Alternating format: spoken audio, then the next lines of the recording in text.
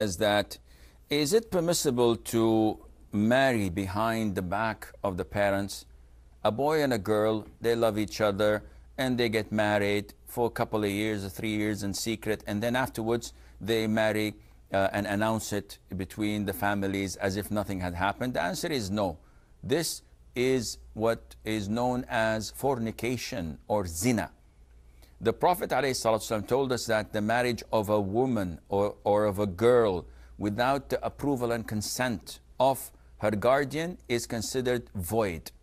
So if they meet in college and they fall in love and they go to an imam or a maulana and he makes the marriage contract in secrecy and they live like a husband and wife, this is zina.